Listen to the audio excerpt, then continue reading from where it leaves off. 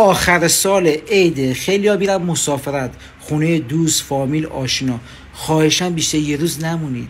میرید چهار پنج روز میمونید. مثل قوم مغول لختشون می‌کنید. مجبورن برن قرض قوله کنن تا شکم شما رو سیر کنن. خواستینم بمونید. برید بیرون با خودتون. یه برنجی گوشتی مرغی میوه بخرید. دست خالی نیاید. آها خواستی بخری. نذاشتن صبح.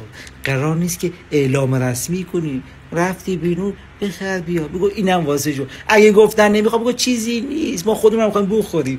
می‌تونی. نگاه کن. کسافت باید در نیار. خب معلومه بهشون بگی میگن نمی‌خوایم. بخر بیار بعد بمون.